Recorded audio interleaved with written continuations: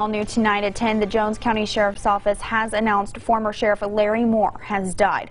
Moore worked in law enforcement for a total of 28 years. He was Sheriff of Jones County for 16 years. A post made on the Jones County Sheriff's Department Facebook page states he mentored many men and women and showed them what being a good deputy truly was. Sheriff Moore was the true definition of strength, perseverance, and compassion. We have reached out, but the cause of his death has not been released.